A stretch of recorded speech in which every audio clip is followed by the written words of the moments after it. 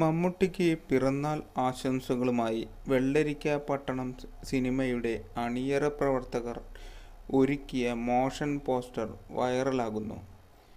ചിത്രത്തിലെ പ്രധാന താരങ്ങളായ മഞ്ജു വാര്യരും സൗബിൻ മമ്മൂട്ടി സിനിമകളിൽ നിന്നുള്ള രംഗങ്ങൾക്കാണ് അണിനിരക്കുന്ന മോഷൻ പോസ്റ്ററാണ് ഇവർ ഒരുക്കിയിരിക്കുന്നത്.